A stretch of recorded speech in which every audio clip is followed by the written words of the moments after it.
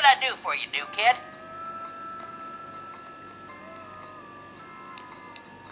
Oh, I hate spiders. Sure hope you blasted the heck out of it. I can't wait to see what you kill next.